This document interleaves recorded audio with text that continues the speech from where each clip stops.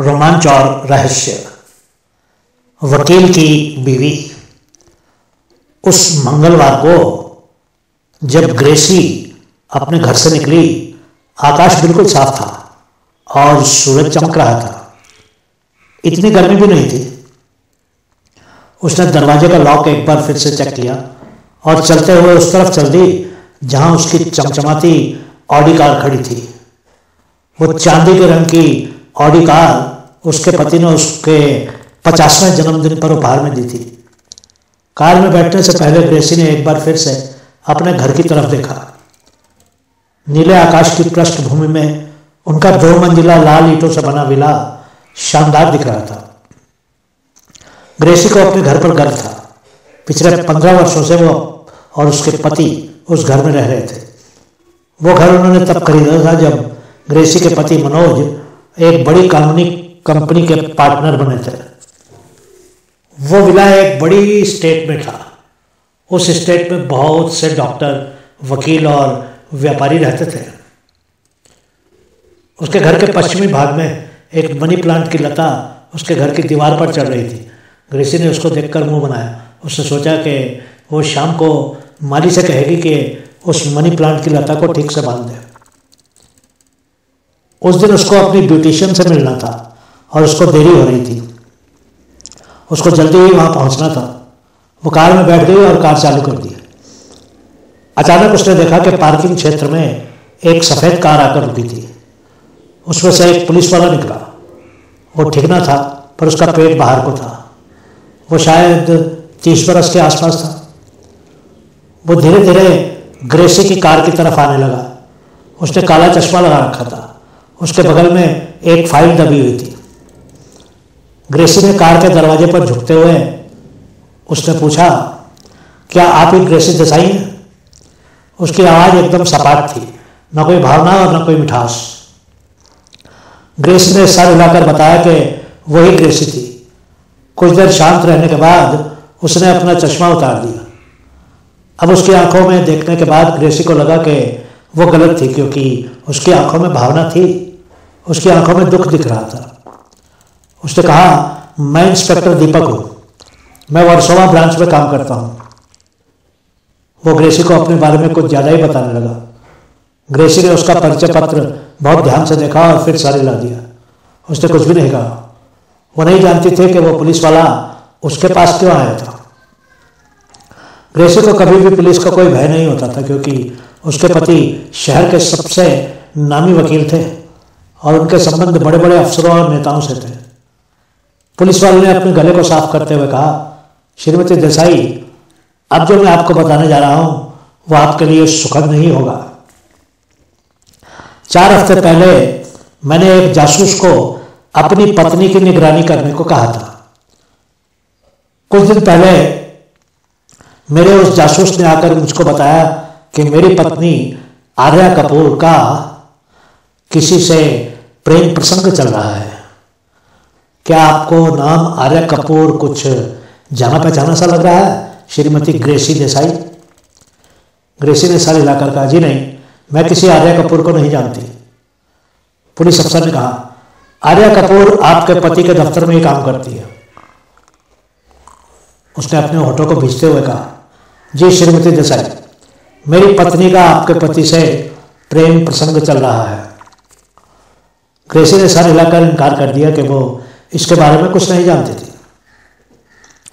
Police अफसर ने अपनी बगल में दवाई हुई फ़ाइल निकालकर हाथ में लेते हुए कहा, पिछले चार हफ्तों में मेरी पत्नी और तुम्हारे पति पडोडा के एक होटल में मिलते हैं। होटल का नाम है सिटी स्काई होटल। वो दोनों हफ़्ते में कम से कम दो बार चार से छह बजे के बीच वहाँ मिलते हैं और एक कमरे में ही रहते हैं। तुम्हारे पति उस होटल के मेंबर हैं। उनको हर बार वही कमरा मिलता है। मेरे जासूस ने वहाँ एक कैमरा लगा दिया था। मैं हैरान था कि ऐसा कौन सा कानूनी काम वो कर, वहाँ करते हैं। मेरे जासूस ने मुझे सीडी लाकर दे दी है। ग्रेसी मनी मन में सोचने लगी कि यह ठीक था कि उसके पति उस होटल के मेंबर थे और हफ़्ते में दो दिन वो देरी से घर वापस भी आते थे। क्या यह पुलिस अफसर सच कह रहा था? वो बहुत ही गंभीरता से सोचने लगी। और कुछ देर तक चुप ही रहे। दीपक फिर से बोलने लगा, आज मैं अपनी पत्नी को यह सीढ़ी दिखाने वाला हूँ और उसको तलाक लेने पर बाध्य कर दूँगा। लेकिन फिर मैंने सोचा कि मैं बिना कुछ कमाए उसको ऐसे ही कैसे जाने दे सकता हूँ? तुम्हारे हरामी पति ने मेरी शादी बर्बाद कर दी है। अब मूल्य तो उसको देना ही होगा। उसने फ़ाइल ग्रेसी को देते हुए कहा सीडी फ़ाइल के अंदर ही है। साथ ही मैंने रकम भी लिख दी है। एक चिट्ठी भी है तुम्हारे पति के लिए। ग्रेसी कुछ देर तक उस फ़ाइल को देखती ही रही मैं नहीं जानती कि अब मैं क्या करूँ मेरे लिए तो यह एक भयानक सच्चाई है। मुझे तो विश्वास ही नहीं हो रहा है। दीपक ने सर झुकाकर कहा, मुझे माफ़ कीजिएगा श्रीमती ग्रेसी देसाई। आपकी कोई भी गलती नहीं है। मैं तो सिर्फ़ आपको बताना चाहता था, पर मैं आपके पति को भी सजा देना चाहता हूँ। उसको मूल्य तो चुकाना ही होगा। मैं कल फिर आऊँगा। वो कुछ और बातें बताने के बाद चला गया। ग्रेसी कार से बाहर आ गई और उस फ़ाइल को अपने हाथों में थामे, वापिस अपने घर की तरफ़ चल दी। घर के अंदर आ जाने के बाद उसने फ़ाइल के कागजों को देखना शुरू किया। उसने फ़ोन करके ब्यूटिशियन के साथ अपना कार्यक्रम स्थगित कर दिया। घर का दरवाज़ा अंदर से बंद करने के बाद उसने सीढ़ी चालू कर दी। उसके होश उड़ गए। उस वीडियो में उसके पति थे। वो और एक औरत नग्न अवस्था में बिस्तर पर थे। ग्रेसी ने अपने पति का चेहरा तो नहीं देखा, परंतु उनकी पीठ और उनके शरीर पर बचपन के दागों से उसने पहचान लिया कि वो उसके पति ही थे। वो उस औरत को नहीं पहचान सकी। वो औरत वास्तव में बहुत खूबसूरत थी। उसने वीडियो पूरा देखा। उसने दोनों की आवाज़ें भी सुनी। उसको विश्वास ही नहीं हो रहा था कि उसके पति उसके साथ ऐसा भी कर सकते थे। कुछ देर के बाद वो रसोई में जाकर अपने लिए एक कप कॉफ़ी ले आई और टेलीविज़न के सामने बैठ गई। वो इस वीडियो को फिर से देखना चाहती थी। वो पूर्ण रूप से खंडित हो चुकी थी। वो नहीं जानती थी कि वो आगे क्या करने वाली थी। फिर भी उसने सोचा कि किसी न किसी तरह उस समस्या का हल तो ढूंढना ही था। वो धीरे धीरे कॉफ़ी पीने लगी। शाम को ही इंस्पेक्टर दीपक, उसकी पत्नी आर्या से साफ़ बात करने वाला था। उसको अगले ही दिन पैसे चाहिए थे। ग्रेसी को कुछ तो करना ही था। वो गंभीरता से सोचने लगी। कुछ देर के बाद वो उठकर खड़ी हो गई। उसने एक योजना बना ली थी। उस दिन मंगलवार था और हमेशा की तरह ही ग्रेसी के पति और आर्या उसी होटल में शाम चार बजे मिलने वाले थे। वो सबसे पहले मनोज के दफ्तर में फ़ोन करके आर्या कपूर का फ़ोन नंबर प्राप्त करना चाहती थी। चार बजने से कुछ मिनट पहले ग्रेटी, ग्रेसी सिटी स्काई होटल की कॉफ़ी शॉप में बैठी थी। उसने मनोज और आर्या कपूर को होटल की लॉबी में प्रवेश करते हुए देखा। दोनों ही अपने व्यवसायिक कपड़ों में थे। दोनों के हाथ में वकीलों वाले सूटकेस थे। कोई भी सोचता कि शायद वो दोनों किसी व्यापारिक मीटिंग में आए थे।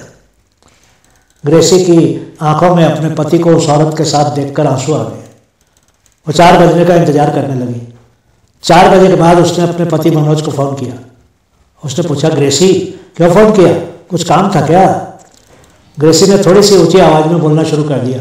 हे भगवान, मैं घर के बाहर खड़ी हूँ और दरवाजे पर लॉक लगा हुआ है। मेरी चाबियाँ घर के अंदर ही रह गई थी। मैं तुम्हारे ऑफ़िस में तुम्हारी चाबियाँ लेने आ रही हूँ। क्या तुम नीचे आओगे या फिर मुझे ही ऊपर तुम्हारे दफ्तर तक आना होगा? मनोज की तो जैसे सांस ही थम गई। ओह, ग्रेसी क्या तुम दफ्तर की तरफ़ आ रही हो? हाँ मैं पंद्रह मिनट में तुम्हारे दफ्तर पहुँच जाऊँगी। ग्रेसी ने अपने पति की घबराई घबराई हुई आवाज़ फिर सुनी। ग्रेसी, तुम नीचे नीचे कार में ही रहना। मैं नीचे आ रहा हूँ। ग्रेसी ने फ़ोन काट दिया और अपनी कॉफ़ी पीने लगी। उसके पति का दफ्तर उस होटल से सिर्फ़ पाँच मिनट की दूरी पर ही था। उसको विश्वास था कि उसके पति अकेले ही अपने दफ्तर जाएँगे और आर्या कपूर को होटल के कमरे में ही प्रतीक्षा करने के लिए कहेंगे। कुछ ही मिनटों में मनोज बाहर आ गए। वो जल्दी जल्दी अपनी कार की तरफ़ बढ़ने लगे। ग्रेसी ने तुरंत ही आर्या कपूर का नंबर मिला दिया। हेलो, आर्या कपूर, मैं ग्रेसी देसाई बोल रही हूँ। मैं इस होटल की लॉबी में बैठी हूँ। मुझे तुमको कुछ दिखाना है। ये जीवन मृत्यु का प्रश्न है। ये मनोज के बारे में है। तुमको शायद इसकी जानकारी नहीं है। मैंने मनोज को किसी बहाने से दफ्तर भेज दिया है। हमारे पास बात करने के लिए सिर्फ़ बीस मिनट है। तुम अगर मुझ पर विश्वास कर सकती हो तो नीचे आ जाओ।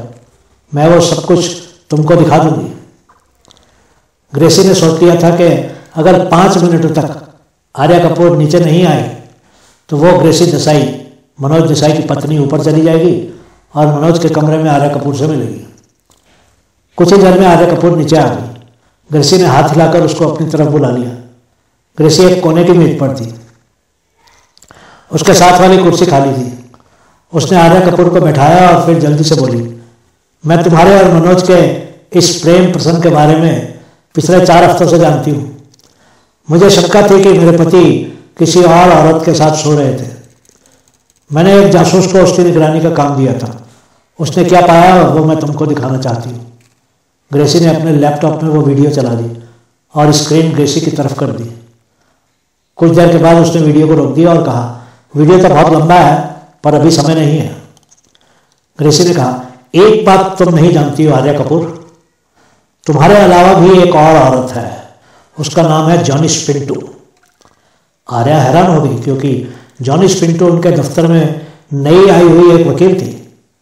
ग्रेसी ने जानबूझकर वो नाम लिया था, ताकि आर्या कपूर को यकीन होने लगे। ग्रेसी ने आगे कहा, उनकी बातचीत से मुझे ज्ञात हुआ कि जानिश पिंटू को तुम्हारे बारे में मालूम है।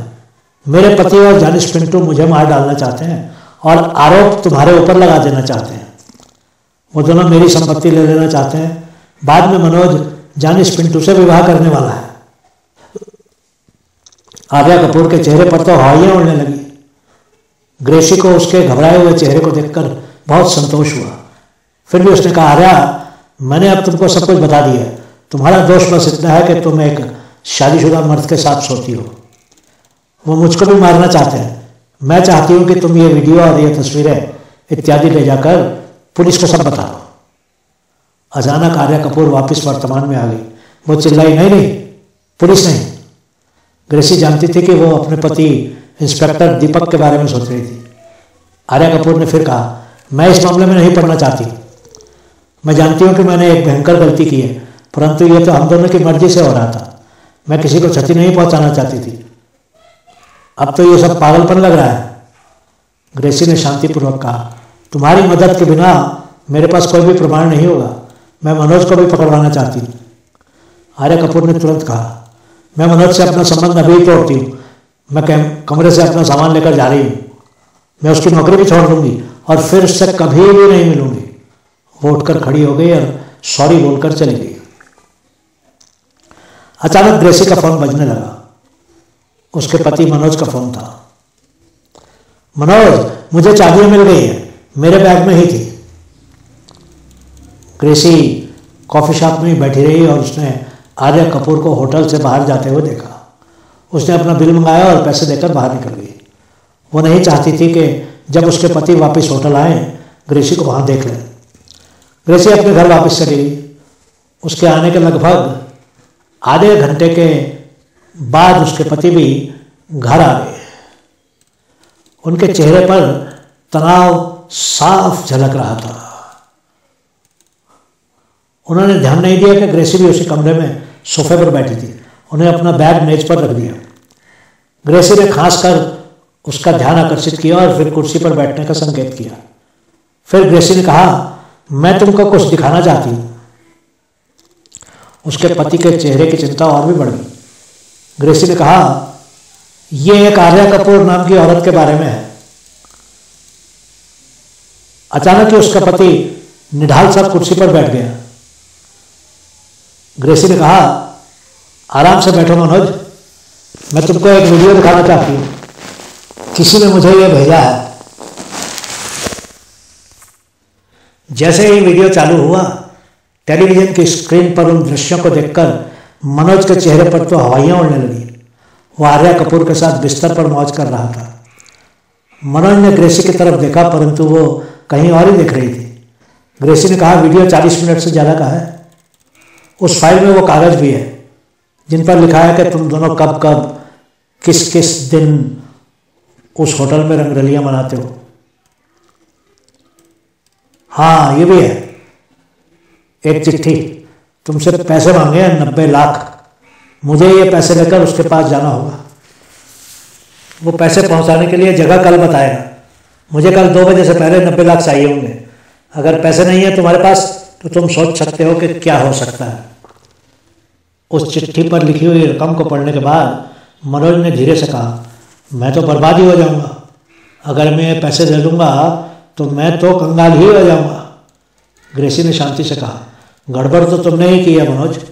अब सिर्फ़ दो ही काम कर सकते हो। या तो पैसे दे दो उसको, या फिर पैसे मत दो और मुझसे तलाक ले लो। मेरी देखभाल करने वाला तो कोई भी नहीं होगा। अगर उसने वीडियो इंटरनेट पर अपलोड कर दिया तो तुम जानते हो क्या होगा। मैं पीड़ित और छोड़ी हुई पत्नी नहीं बनना चाहती। मैं तलाक तो लूँगी और ये वीडियो भी मैं प्रयोग करूँगी। तुमको मैं छोड़ूँगी नहीं। अब सोच लो क्या करना है। मनोज ने कहा, इतना आसान नहीं है जितना तुम कह रही हो। वो बोली, मैंने तो ये सब नहीं किया है। अब तुमको ही संभालना होगा ये सब. अगले दिन इंस्पेक्टर दीपक ने ग्रेसी के घर की घंटी बजाई। मनोज ने दरवाज़ा खोला। मनोज ने अपने आप को बहुत रोका। नहीं तो उसने पूरी ताकत से दीपक के मुँह पर एक घुसा मारी दिया होता। मनोज ने घृणा से कहा हाँ बोलो, क्या है? दीपक ने कहा, पैसे कहाँ हैं? और तुम्हारी पत्नी कहाँ है? मनोज ने कहा, पैसे? तुम कौन हो? मैं उस औरत का पति हूँ। जिसके साथ तुम सिटी होटल में हफ़्ते में दो बार सोते रहे हो। मनोज भयभीत हो गया। तुमको हमारे बारे में सब मालूम है? दीपक ने दृढ़ता से कहा, मैंने ही तुम्हारी पत्नी को वो वीडियो दिया था। मनोज ने कहा, तुमने? पर उसने तो मुझे कहा कि आर्या, तुम्हारी पत्नी ने उसको वो वीडियो दिया था। वो कहाँ है? तुम्हारी पत्नी कहाँ है? मनोज ने कहा, वो तो नब्बे लाख तुमको देने के लिए लेकर आधा घंटा पहले ही चली गई। उसने कहा कि आर्या, तुम्हारी पत्नी ने उसको एक एड्रेस दिया था और उसको वो पैसे वहाँ पहुँचाने थे। इसका मतलब तुम और तुम्हारी पत्नी आर्या दोनों ही मिले हुए और तुम दोनों ने मिलकर मुझे फंसाया है। दीपक ने गुस्से से कहा, मूर्ख, चुप रहो, हमने नहीं फंसाया। तुम मेरी पत्नी के साथ होटल में सोए और तुमने मेरी शादी बर्बाद कर दी मैंने तुम्हारी पत्नी को वीडियो दिया और दस लाख की मांग की और चुप रहने को कहा था। मनोज हैरान होकर चिल्लाया, दस लाख? पर उसने तो मुझे नब्बे लाख कहा था। कुछ देर तक दोनों मनोज और दीपक एक दूसरे को देखते ही रहे। फिर दीपक ने कहा, जब मैंने अपनी पत्नी आर्या को पिछली रात वीडियो दिखाया, वो रोने लगी और उसने मुझे बताया कि कल वो तुम्हारी पत्नी ग्रेसी से होटल में मिली थी। तुम्हारी पत्नी ने आर्या से कहा कि तुम्हारा एक और लड़की से चक्कर चल रहा है और तुम दोनों मिलकर ग्रेसी को मारना चाहते हो और आर्या को फंसाना चाहते हो। मेरी पत्नी आर्या तुम्हारी पत्नी ग्रेसी की बातें सुनकर भयभीत हो गई और होटल से वापस घर चली गई थी। मैंने सोचा कि शायद आर्या कोई झूठी कहानी बना रही थी। मनोज को पूरी बात समझ में आ गई कि कैसे ग्रेसी ने उन सबको मूर्ख बना दिया था और एक कहानी बनाकर नब्बे लाख अपने कब्जे में कर लिए थे। दीपक बेचारा भी हैरान, परेशान सा खड़ा था। मनोज ने कहा, पर वो मेरी पत्नी है, इस तरह मेरे पैसे लेकर नहीं भाग सकती? दीपक ने कहा तो उसने हम सबको बेवकूफ़ बना दिया। अब उसके पास नब्बे लाख हैं। अब वो तुमसे तलाक लेगी। उसको सिर्फ़ इतना ही करना होगा कि वो अदालत में वीडियो दिखा देगा। देना होगा, उसको आसानी से तलाक मिल जाएगा। वो तुमको कंगाल कर गई मनोज, वकील साहब। जैसे ही दीपक अपनी कार में बैठकर जाने लगा, एक ऑडी कार अंदर दाखिल हुई। ग्रेसी बाहर निकली। दीपक हैरान हो गया। उसने कहा तो तुमने अपने पति के ही नब्बे लाख उड़ा दिए। नहीं, मिस्टर दीपक, मैं पचास वर्ष के ऊपर की औरत हूँ। सारा जीवन मनोज के साथ बिताया उसने बहुत परिश्रम से ये पैसे कमाए हैं। मैं उसको बर्बाद नहीं कर सकती। ऐसी गलतियाँ तो सभी करते हैं। कुछ पकड़े जाते हैं, कुछ नहीं पकड़े जाते हैं। मैं अपने पति से तलाक अवश्य लूँगी, पर अपनी शर्तों पर। मेरी शर्त यह होगी कि मैं जीवन के अंतिम सांस तक उसके साथ इसी घर में रहूँगी। हम दोनों पति पत्नी नहीं होंगे, पर साथ ही जीवन की अंतिम यात्रा करेंगे। खैर, अपनी कहो। तुम तो अपनी पत्नी को छोड़ ही दोगे। तुम्हारा तलाक भी हो जाएगा। अब मुझे कोई परवाह नहीं है। तुम चाहो तो उस वीडियो को इंटरनेट पर अपलोड कर सकते हो। मेरे पति को भी अब उसकी कोई चिंता नहीं होगी। ग्रेजी उसे हैरान, परेशान छोड़कर घर के अंदर दाखिल हो गई और ज़ोर से बोली, मनोज मनोज, कहाँ तुम? मनोज ग्रेसी को वापस आया देखकर हैरान हो गया। ग्रेसी ने कहा, इतने वर्षों तक वकील की पत्नी रही हूँ। मैंने अपना केस खुद ही समाधान कर लिया। तुम्हारे नब्बे लाख को मैं दो अकाउंट्स में बराबर बराबर जमा करवा आई पैंतालीस लाख तुम्हारे, पैंतालीस लाख मेरे। अब तुम अपनी वकालत दिखाओ और कल तलाक की अर्जी दे दो। पर शर्त यह होगी कि तुमको जीवन भर मेरे साथ इसी घर में रहना होगा। मनोज ने कहा, ग्रेसी, क्या हम फिर से पहले जैसे तभी तो कह रही हूँ कि तलाक लेने के बाद तुमको इसी घर में मेरे साथ रहना होगा। यही एक शर्त होगी जिस पर मैं तुमको तलाक दूँगी। आगे क्या होगा, कोई नहीं जानता। हाँ एक बात और। मैं तुम्हारे परिश्रम से कमाए हुए पैसों को किसी ब्लैकमेलर को तो कभी भी नहीं दे सकती थी। सब कुछ पहले जैसा ही है हमारे बीच। बस हम पति पत्नी नहीं है। चलो, अब आराम करो। मैं कॉफ़ी तैयार करती हूँ। बहुत बहुत धन्यवाद।